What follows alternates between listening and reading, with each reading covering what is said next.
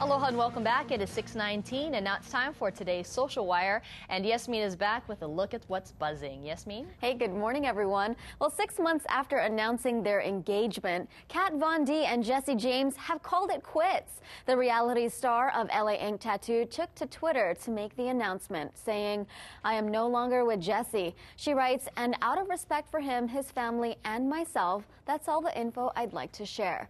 Thanks for respecting that. Jesse James told People magazine that he is so sad because he really does love her. And he says the distance between us was just way too much. I hope they didn't send out their save the date cards. Well, Sir Michael Philip Jagger, also known as Mick Jagger, the only member of Rolling Stones to be granted knighthood, turned 68 today. Happy birthday, Mick. Much of the recent focus on the Stones has been their lack of touring and the rift between Jagger and Keith Richards that has been around for about 50 years now.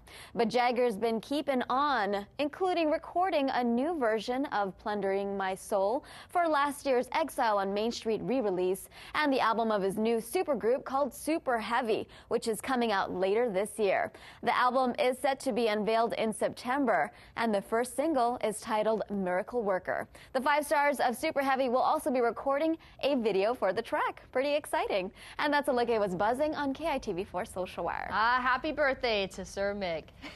Thanks, Yasmin. And now You're you've been monitoring uh, weather and traffic, or at least the traffic part. What's happening on our roads this morning? Well, we do have a look at this travel time, Mahealani, and as you can see here, in from the windward side, it's off to a fantastic start. 24 minutes in from Kailua, 22 in from Kaneohe. We have a live look at those city.